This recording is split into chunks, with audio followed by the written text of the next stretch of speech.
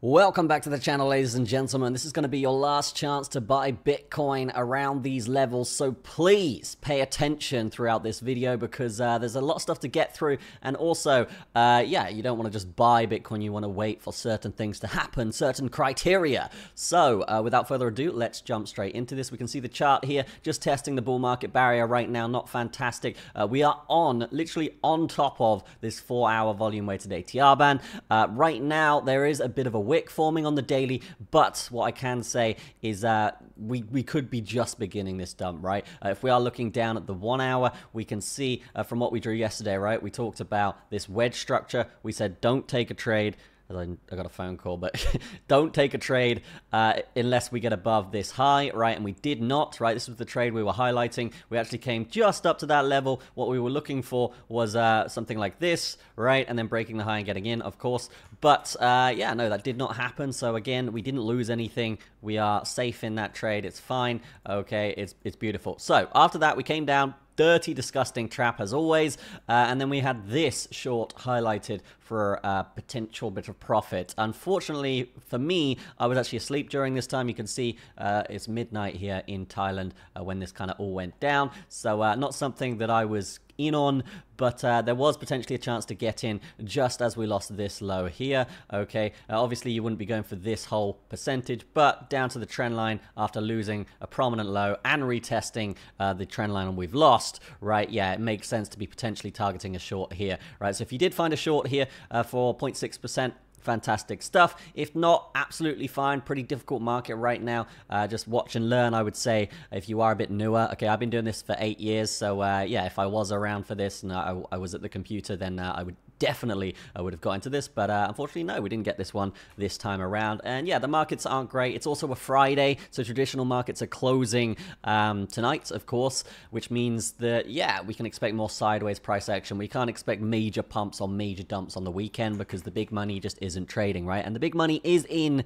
Bitcoin right now, okay? It's all the institutions are in. We've got the ETFs, we've got everything going on, right? Uh, so always follow uh, what's happening in the week more than the weekend because that's when the big money trades, okay? So, as of right now, what we can see here on the Binance chart, a little bit different to the index, but uh, we can see the four hour uh, volume weighted ATR band down here at 63.2. As we said, we are looking for that open interest to reset around 62.5. So, uh, if, if today goes the way I think it may, then uh, I believe that we come down probably to the low 60s even more. And then, uh, basically, when the weekend's over, we look to reclaim these trend lines, okay, on Monday, and then absolutely bang it towards the upside from there. Okay, that's the plan anyway. Uh, if, if that doesn't happen, if we do just get a major swan crashing scenario, maybe we will find a short, but uh, it is a risky one, of course. Definitely an advanced trade, uh, but definitely one I'm, I'm not being blind to here, right? If we do want to come down and have another wave here, uh, what I will do more than anything, uh, obviously I want to see us below 63.2 for a potential short, but very, very risky to be finding a quick scalp in these areas for sure. But for those of you that are a little bit more advanced, and you want to know how I'm going to do it,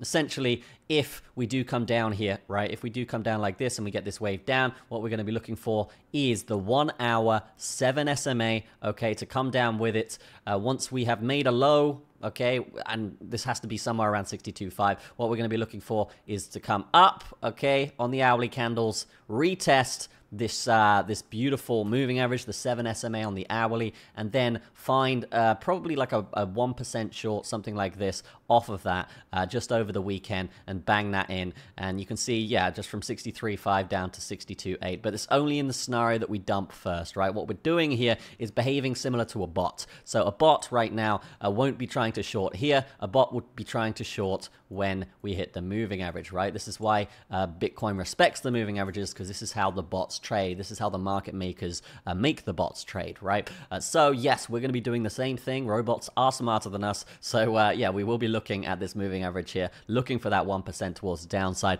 in the scenario that this happens. If we recover from here, it's a little bit different of a scenario. Uh, we do have a small trend line here that has formed. I'm not too interested in it because we just got so much resistance around this area, as you can see. But what I am interested in is, uh, one, if we can reclaim this at any point point, right? 65k, this trend line going up. If we can reclaim it, this soul section would go down as a trap, and uh, it would be actually pretty bullish here as soon as we get over 66.5. Uh, and with that being said, 66.5 is really where I'm looking for uh, a major entry here, uh, where, where we can essentially ride that up to 68. And then, uh, yeah, we should probably go into the on-chain as well for a bit more of a macro look. I haven't actually looked at the, this stuff today, so this is going to be fresh eyes for me. But uh, let's just check this out. Let's just check this stuff out. I do want to see where liquidations are as well. Okay, so we can see liquidation heat map here right now. Uh, we can see on the three day where it's a little bit better. Okay, so yeah, so we do have some new levels, 95.1. I think it's quite likely we come up and hit that very, very soon.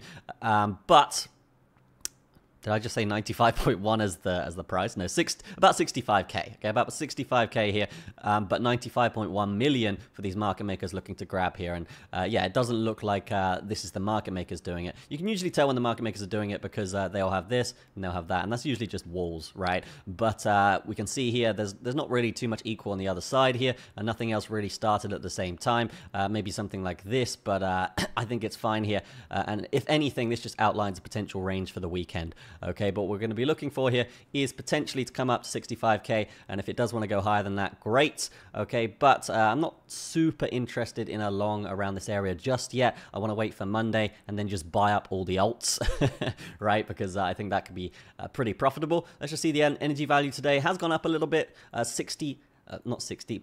There's the uh, there's the autism coming through strong there. Uh, 76 here, 76.7 being the energy value price. If we get above there, you guys know the deal. It basically just means we go parabolic, and it's free money for everyone. All right, so that's really what we're waiting for here on the macro. But as of right now, sideways until we die ways. It seems to be uh, the case here. Uh, if we are going to look at yeah, okay, so this looks bad. This looks bad. The three month here on the electricity consumption index, uh, usually when these are sloping towards the downside, it's bad. Uh, we have been making some progress here towards the upside uh, over the past few days slash weeks, but it does look like potentially it could curl over here, which could spell for a capitulation event. Let's just take a look at outflows right now. What happened yesterday with the outflows? Minus 134 mil uh, after that 21 cents inflow uh, on the previous day. So yeah, very, very bad. Lots of outflows um, here, right? So we had um, we had here 175 mil, we had minus a mil, minus 53 mil, uh, minus 49 mil, plus 21 cents, and then minus 134 mil. So it seems institutions may be a little bit scared right now. Uh, I don't know what's going on in the world, but uh, yeah, a lot of things are happening. And uh, yeah, we did just put out some updates. And this is actually uh, meant to be for the paid members, so we're just going to ignore that. you can pause the video if you want, but this is where I'm basically giving you guys the trade setups that I'm doing every single day here, as you can see. So uh, yeah, if you if you want to join the Patreon, feel free. It's super super cheap. Okay, it's only 10 uh, 10 bucks. All right, uh, and if you just want to follow for free, guys, I will do one uh, TA setup for free for you guys, and that was the Gala trade today. So if Gala gets above a point 029 then uh, looks very good. We were looking at this resistance here as you can see. Uh, so yeah if we get above this resistance and the volume weighted ATR band on Gala super super good. And uh, yeah this one was just for free on the patreon we put out today. So uh, if you do uh, want these free setups every day then feel free to follow on the patreon. It's the first link in the description. Go do it. It's free. It's literally free. No credit card no nothing okay? You just press follow. Okay so if you want to do that uh, be sure to do it. If not absolutely fine. No problem okay? And uh, yeah besides that that's pretty much it on this side of the show okay? So let, us just go back to the chart here and just summarize what we're looking for okay? So again. Uh, we're looking for a potential short, and this will be later tonight, ideally if it does head down anyway, right? A potential short after we retest the 7 SMA as it comes down, uh, but also a potential long if we can get above 66.5, okay? That is only 2.5k away, but a pretty substantial move without a pullback if that does happen. So yeah, just be careful. And we do have that big uh, liquidity section on, on the chart that we showed you just now at 65k. So uh, 65k being the real resistance we need to get above. But uh, I wouldn't just be banging in longs if we get above there, just based on the fact that we've had so many traps over this trend line. It's really disgusting, right? And we can move the trend line up, but uh, it doesn't really line up so well. Okay, so uh, yeah, that's pretty much all there is to say there on the short term. It does look, uh, it does look actually like like we want to pump here. But uh, yeah, I'm not, I'm not trusting this too much just now because uh, we are in a bit of a downtrend. It looks pretty disgusting. So yeah, if we can get above this kind of mid 66k level, then uh, we'll be out of this trap zone.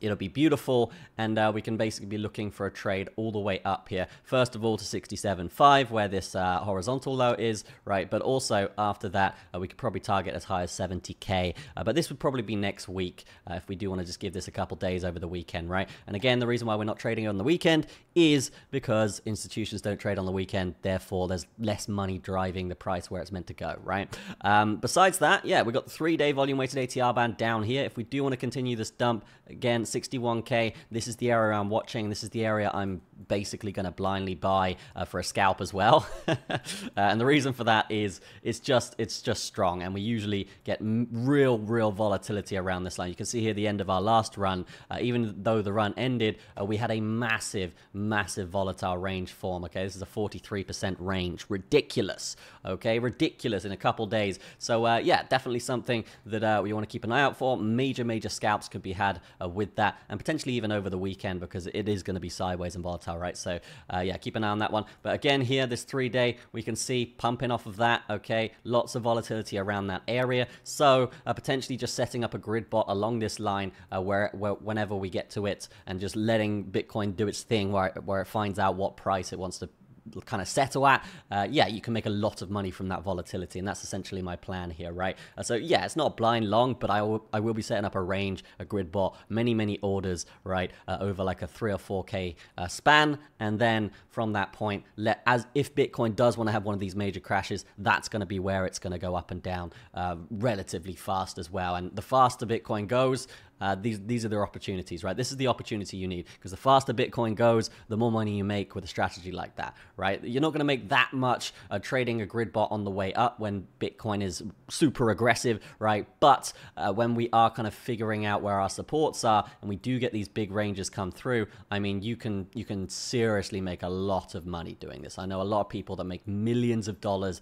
every single year, not even trading the trends, just waiting for major dumps and just setting up the grid with bots on support, literally like that. Okay, uh, and sometimes we will we will smash through them, of course, but um, yeah, you got that's why you got stop losses, right? So uh, this is essentially the range I'm looking for here. If we do want to have a major dump, uh, we could go down as low as 55k if it does start seriously crashing, right? Uh, but uh, because of this middle line here and because of this three-day volume-weighted ATR band, we could have this range. Uh, and again, this is a 17% range. So I'm just going to try and catch. Wow, I caught it. I caught it. I don't know if you saw that. I didn't I didn't catch it. That was that was a lie, but I thought I caught it and then it just landed on my finger. so I just kept insane, insane, right? Blessed. okay, or cursed. Who knows? Who knows? What do flies represent? Probably not good, right? uh, but yeah, we can see here. We can see, um, yeah, volume weighted ATR band, three day. This is the this is the real summary what we're looking for here. If we if we do want to set up a range in this area, you could probably set it up between about 64k and uh, 58k if you want to be a bit more cautious. But if we do get a major crash here, and I'm, I'm talking like an hourly, two hour, uh, an hourly to four hour candle where we just seriously crash through this stuff, yes, that's when you want to set up these grid bots, and that's when you want to set up these range trading strategies coming through, okay? So that's going to be it from me. I hope you've enjoyed this video. I hope you've got value from this video. Please like it if you did, because it does help me out a lot. And uh, of course, if you've watched it this far, you guys know the deal, okay? Leave me a comment with your TradingView name, and I will give you two weeks. Uh, I was going to say one week, but we're feeling generous today. Two weeks on this volume weighted ATR band indicator, and it's, it's multi-time frame. It's beautiful. Okay, it's beautiful. You can just set up any time frame you want on your chart. Oh, it's good, and there's six bands as well. All right, so if you're interested in that for free, leave a comment with your TradingView name. Just say my name is blah, and, and if you say Slim Shady, it's it's it's cringe. Don't do it. Don't do it. Okay, I'll see you guys in the next one. Have a fantastic day, and I hope you're liking the short content out there. Peace.